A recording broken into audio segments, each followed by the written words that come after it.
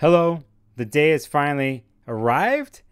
September 3rd at 6:20 p.m. Pacific, Venus in Leo finally stopped her retrograde motion, going backwards for 40 days, just a little bit more than that, and we've arrived at this day where Venus stops going backwards and starts to move forwards all the way through September and into the first week of October. I will give you five important dates for September, and these dates are actually connected to the past. Since June into July into August, the dates I'm about to mention and the planetary aspects and the connections that Venus makes go back into those months and we finally get to piece together a story, take what we've learned from this Venus and Leo retrograde and put it forth in September and into October where you can be proactive about this story. If you're a Venus in Leo, Moon, Sun in Leo, Leo rising, have planets in Leo, this is definitely for you to pay attention to. I'm going to have some dates on the screen. You should mark them down. You should write them down. Keep track. The same goes for everybody here, including myself. So let's get to it. I have a lot to say about this. And let's get into the next uh, graphic. Here is September 3rd. Venus and Leo stations direct at 12 degrees at 6:20 p.m. Pacific time. Um, we've been waiting for this for a long time. Uh, uh, it seems like forever that Venus started to go backwards way back when, which was on the 28th of July at 28 degrees. Venus almost left the sign and then was back.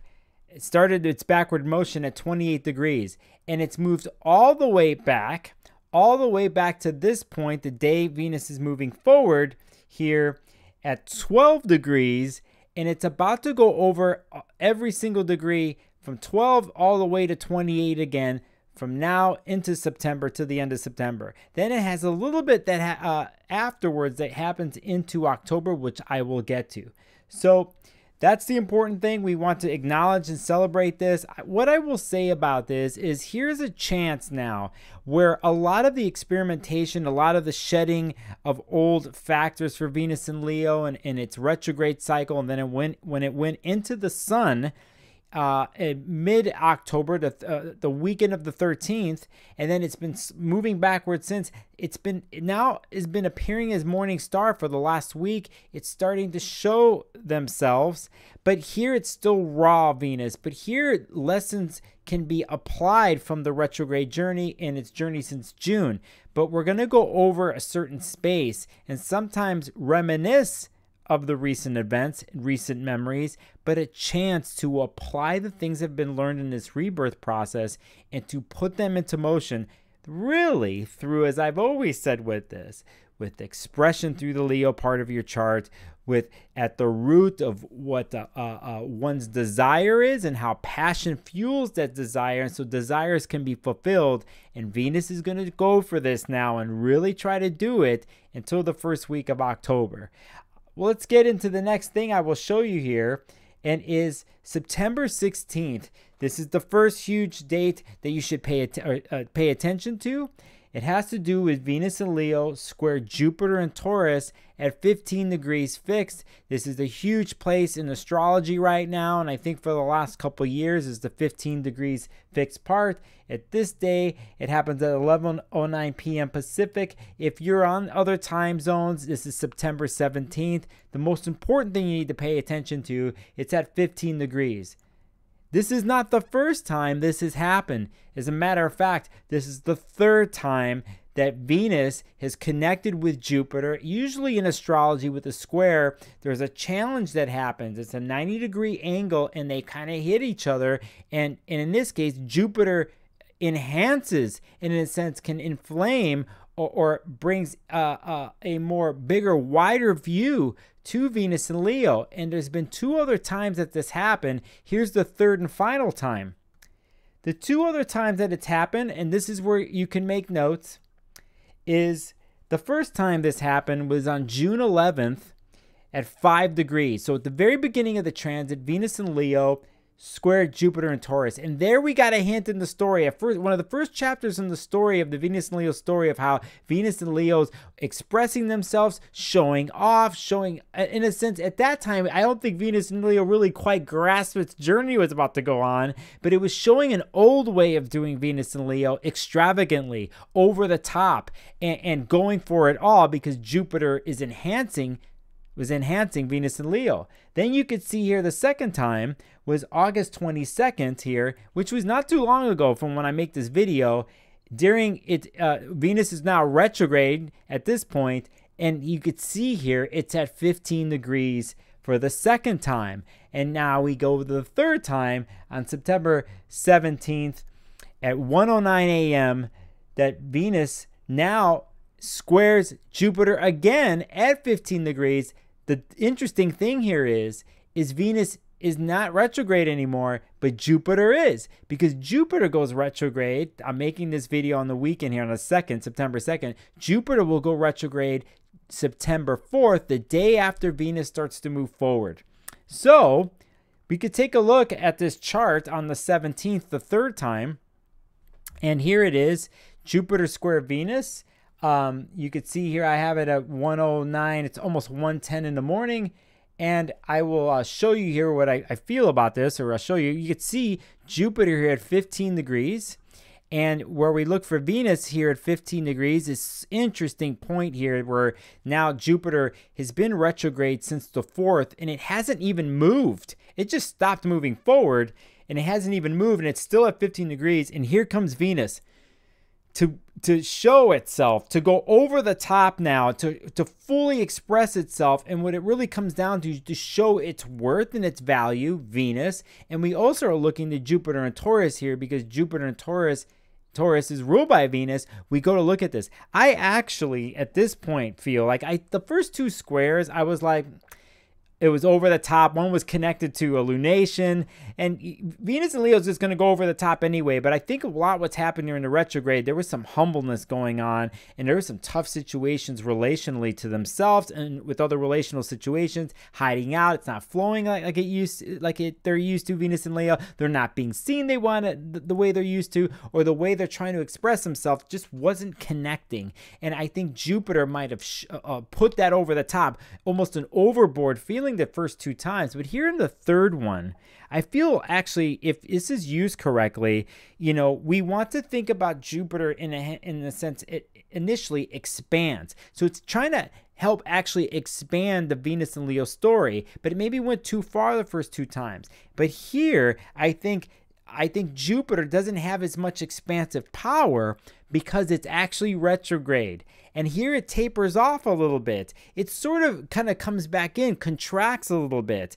And I think here there's this is good. I like this personally because I think Venus has a little bit more leeway, a little bit more guidance and has learned one lesson in this story of how to use Jupiter eh, as to enhance the newly found way of expressing themselves when it comes to love and relationships, how, their creativity, creative expression in a fire way. This is what Venus and Leo shows us. Shows us to be proud of what we do and what we make, and to really show itself here. And here it's got a new wardrobe, new costume. It's on and stage on stage again, raw. Not quite there yet, but feeling pretty confident, building some confidence now since September 3rd, getting here to the 17th for the couple weeks here it's building towards this huge moment here. And so here I actually like this. You still have to take into account Jupiter's inflation that could happen on Venus and Leo. And sometimes there is the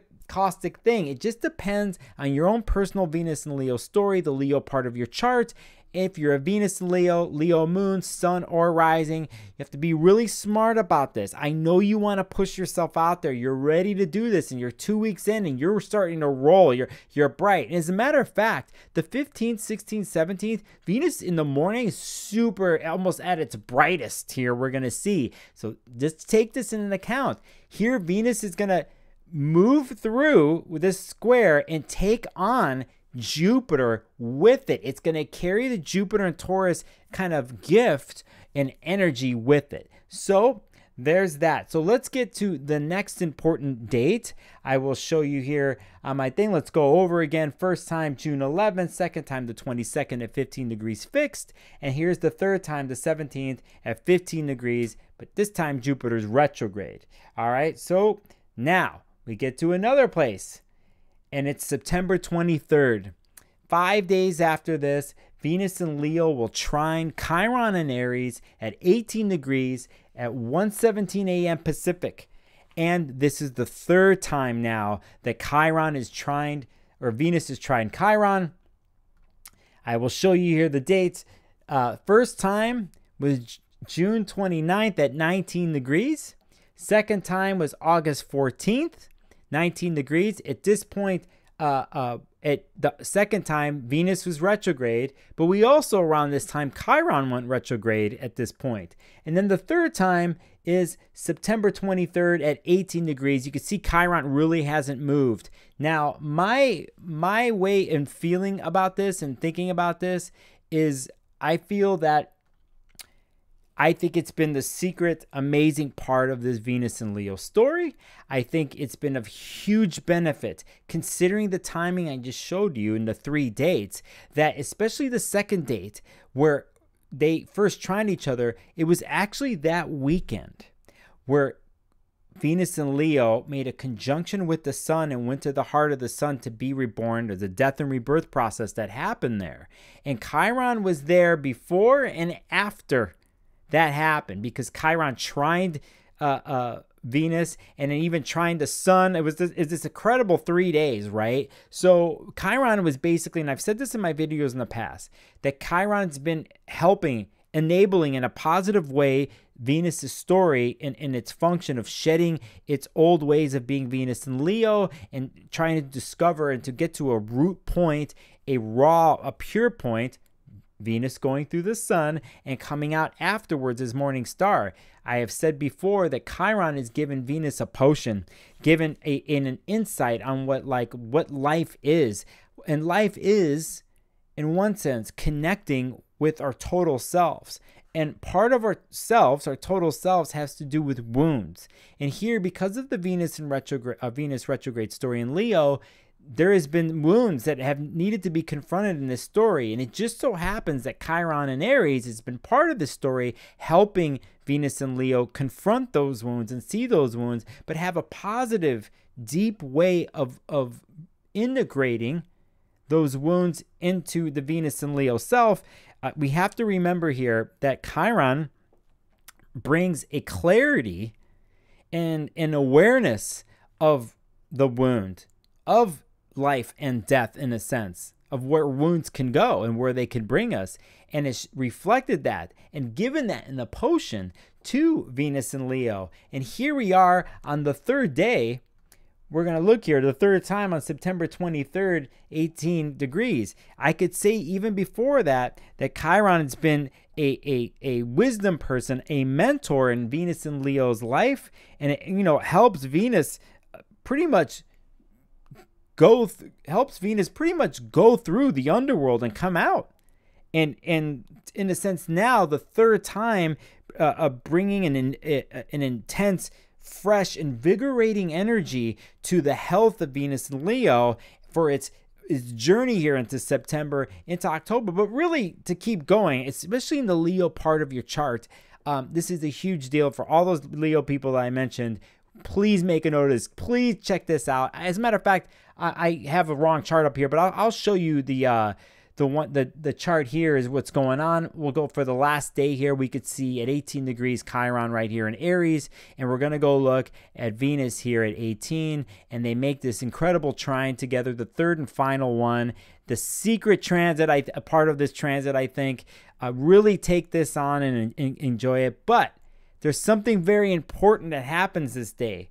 And it's a little bit of a challenge that Venus in Leo, in a sense, uh, uh, Chiron has to deal with. And I think here it's almost Chiron and Aries has helped Venus and Leo this whole time, but Venus and Leo, in its wisdom that it's learned from Chiron here all these months, gets to help Chiron in return. And I actually think this is an interesting way of the Chiron story working because a lot of times Chiron deals with like a wound we cannot see in our own charts. And a lot of times we find situations and people and relationships where we see that wound in them, not knowing we have that wound ourselves. And we help those people because we, for some reason we have this understanding or the subconscious thing that comes up to help them heal that wound. And in a sense, it helps heal our our own personal wound that we can't see. And here's a way it plays out here in this chart because I'll clear this out. We look at Venus now feeling pretty good, right? At 18 degrees, it's got Jupiter energy that it just is bringing with itself. And here it is, another great connection with Chiron. But if we look here, if we look in the chart at 17 degrees, Mars in Libra, a place it does not flow in and it's having erratic energy for September and October, is directly opposite, opposing Chiron, and it's throwing this aggressive, passive aggressive way Uh, of, of relational politics onto the rawness of Chiron and Aries right here. So Chiron's not feeling this Mars and Libra thing. It's not getting the truth. There's relational stuff that's unbalanced, and Chiron and Aries just wants to get to the heart of the wound. And Mars and Libra plays games sometimes when it's not functioning the way it could be, a shadow side. But here, Venus and Leo actually gets to help help in a sense because Mars in in Libra here is making a sextile, a positive connection. So you could see the triangular uh, uh, relationship that's happening here. And I think Venus here is the center point and actually gets to reciprocate with Chiron and Aries in a rare, uh, amazing moment. So that is the one of the big days. Um, I know I went on about this, but I want you to see the dynamics here. They're, they're incredible dynamics and incredible if you're into myth and archetype and how you could take Chiron and Aries, Mars and Libra, and Venus and Leo, and somehow find the connection within the three and have that flow. In the end, I love Chiron for its um, in a sense, it's raw instinct in, in, in Aries and what it brings to get to the heart of the matter and the heart of the wound. And we are always, always thankful for the Chiron story. All right, so here we go. We're going to keep going here. Uh, here's the quick graphic for you to understand. We're going to go to the next thing. And it's huge, another huge day. And it's September 29th, where Venus and Leo squares Uranus and Taurus at 22 degrees. At this point, Uranus is, is retrograde right now at 10:52 a.m. Pacific, and this is the third time that this has happened. We are going to go back and look at some dates where the first time this happened was July 2nd at 21 degrees. And then the second time this happened, Venus was retrograde in uh, August, at this point in August 9th at 22 degrees.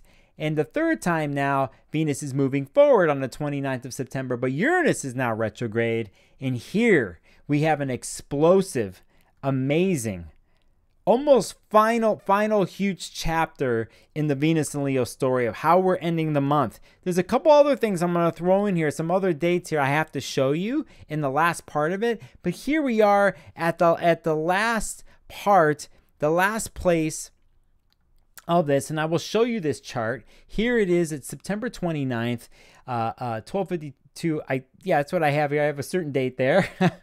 and I will show you here in the chart. Here's Venus now at 22 degrees. You could see now the, at 22 and we have Uranus at 22 and we see this square happening happening between the two.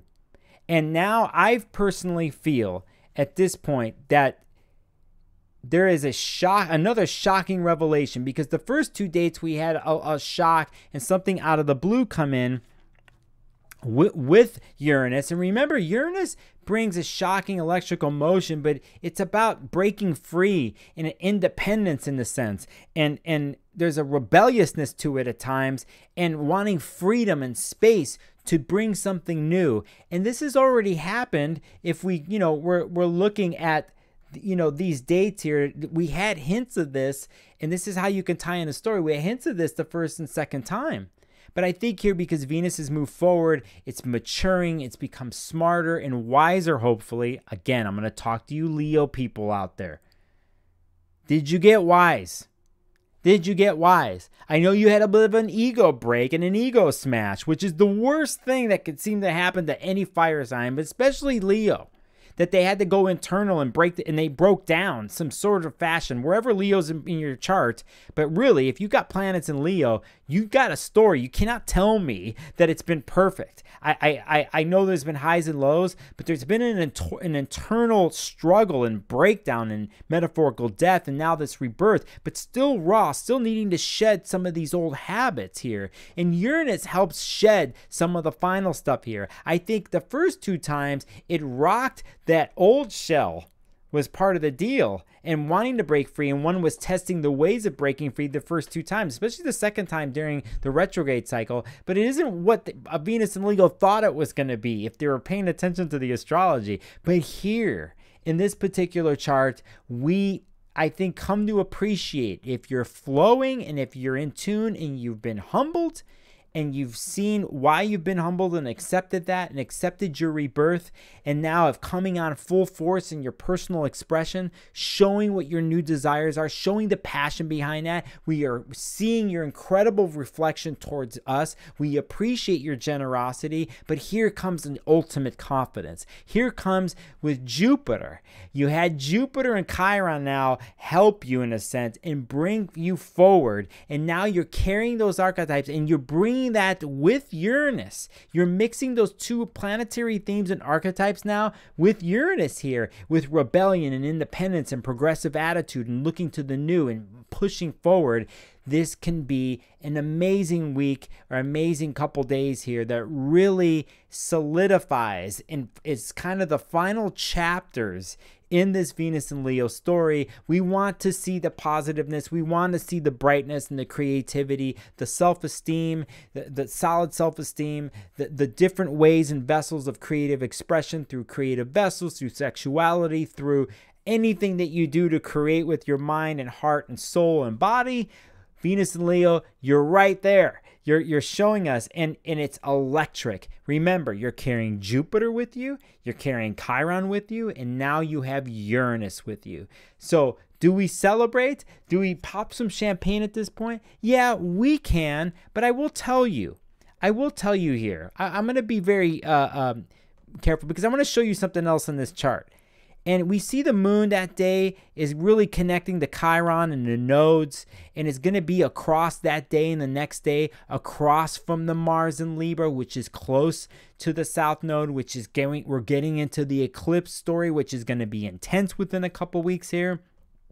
So, we do want to pay attention to how our confidence and how our actions can affect others. We first and foremost, as a fire sign, Venus and Leo, you have to do what you do for yourself because you can't help it and you need to love yourself. By loving yourself, you take care of yourself. By taking care of yourself through Venus and Leo, you seek harmony within yourself and harmony through creative expression in the world. Some people aren't going to connect with it, some people will. But you can be aware about how sometimes expression can affect other people. And I think this is part of, of I think think a shadow side of Leo where they be, uh, there's can be a pompous attitude or not an acknowledgement of other people's expression. I'm not saying you're doing this, you in particular, but this is sometimes happens. So here, I think the balance of showing oneself and expressing in this electric, vibrant, new, independent way, but also doing it in a sense with others, collaborators, people who actually can feed off of that and be reminded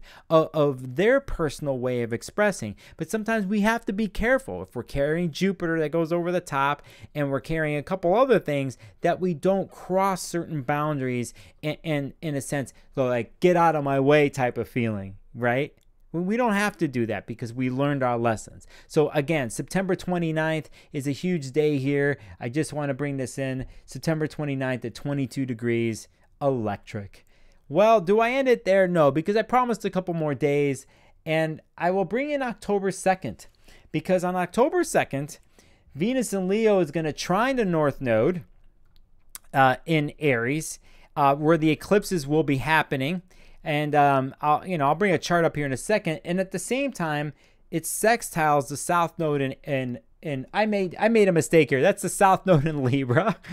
That's what I meant there. It's a south node in Libra, north node in Aries. The graphic is wrong, but we'll go to the chart and I'll show you here uh, what I mean by that. Um, here's Venus now at 24 degrees, feeling pretty good.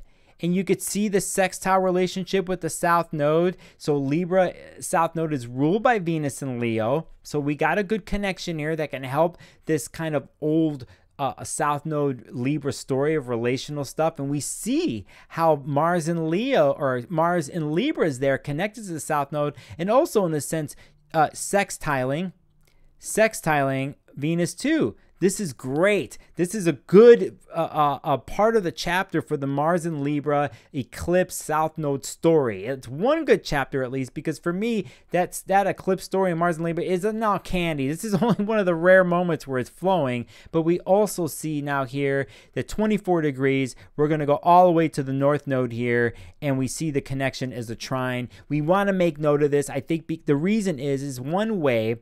Uh, Venus is in the middle of the of the Libra Aries story and it just happens to be about relationships and it just happens to connect with Mars and Libra. So here if you're a Libra and Aries and you got you got to things at this degree, you've been affected by the eclipse that happened at the end of April at 29 degrees Aries, you've been dealing with those parts of your chart Venus and Leo brings some life and a way to move through the challenges creatively, where people get to express themselves and it doesn't have to be a fight. It actually can be collaborative in expression. So think about if you were writing a play and a theater piece together and you're playing characters together to make the story like feel good. But this is a rare moment. It doesn't last. But I wanted to point this particular point out. It's a little bonus day. And then I'm going to show you uh, a next uh, here, a part here, and it has to do with the next day because here Venus in Leo now takes on a non-Ptolemaic aspect, not a traditional aspect, but it's called a quincunx. And it quincunxes Neptune on the third, and then it does the same to Pluto a couple days later. And so you're like, what the hell is a quincunx? Well, I will show you what, what it is. And here now, Venus is at 25 degrees, and we said with Neptune, and you can see Neptune here I'll circle this one green right here. We'll go right here. There's there's Neptune there, and you can see it at 20 at 25 right here and they're not seeing eye to eye. It's kind of a blind spot. It, they're not catching each other. So here, uh, a Neptune throws an illusionary fog, some non-reality thing onto Venus and Leo here for, for those couple days. And so that is kind of thrown into the mix from October 3rd into October 5th. And this is kind of the last week that Venus is going to be in Leo. And there's a little bit of fantasy run amok or, or uh, off kilter here, where in a sense, we don't feel completely connected. What we thought was real is not here, or we don't discover that till later on. The Venus and Leo uh, might be feeling love and feeling on top of the world in certain places. We just need to pay attention to this Neptunian disconnect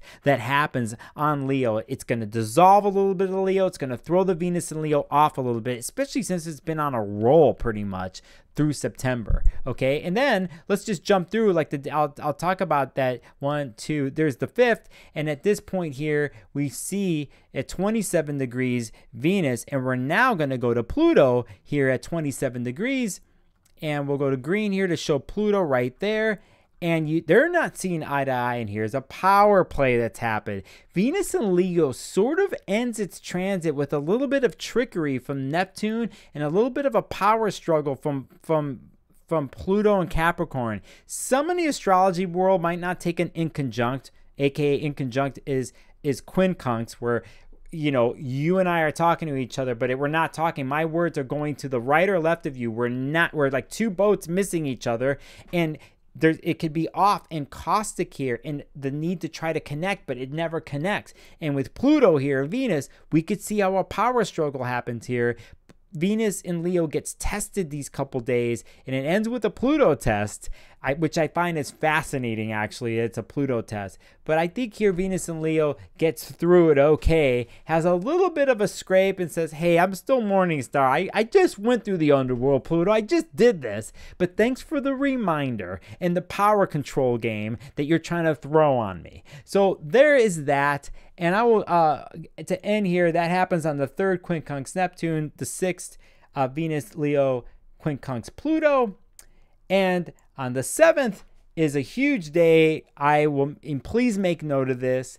Venus and Leo hits 28 degrees the degree of the retrograde station on July 23rd. They call this the end of the shadow. So base, basically, on the 7th, which here I have October 7th, we see here that Venus is at 28 degrees. This was the place on July 28th where Venus stopped and went retrograde at 28 degrees, went all the way back to 12 here, to September 3rd, stopped going retrograde at 12 and has moved forward through all the degrees that it went over since the 28th.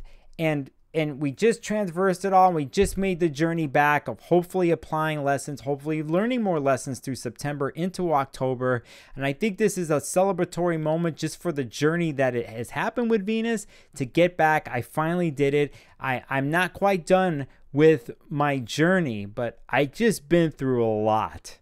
I've been through a lot. And and that is what happens on october 7th um, I could take a look at a couple other things in this chart that I in particularly see. I won't go there because those are for other videos. But but basically, um, we want to acknowledge this moment and connect. Uh, uh, and we pretty much am almost done. Venus and Leo, you have done it. You have been transformed, and hopefully, I'll say hopefully. I think at this point we um we get to i think almost humbly celebrate on this one. I, that's the attitude i'm going to take. If you want to fully express yourself and you're feeling pretty good at this point in, in the Leo, venus and leo journey in your chart you had a personal connection to this in your chart. By the way if you don't know that kind of stuff hit me up. I'm still going to talk about venus and leo uh, readings here because of what happens in september. Just you see what i'm showing you here. It's just an application of what has happened since june. I mean this is huge. So to me i've always said in my video videos. This is the biggest transit of the year, is this Venus and Leo story, and we're getting to the end. We made it to the 28 degree point. I have some thoughts on how I will end this video, but let me show you one more thing. And there it is on October 7th, we hit the 28 degree mark. And October 8th, Venus finally leaves Leo and enters quiet, humble Virgo at 6:10 p.m. Pacific, if I'm correct. This is on a weekend on a Sunday. And that is what I have to bring to you today. I hope you'll have the chapter markers down below. I hope you understood this and, and got into it. Um, if you don't know who I am, my name is Nicholas Polimenakos, aka Sparkles of Gold. Hit the subscribe button and the bell. S check out my links.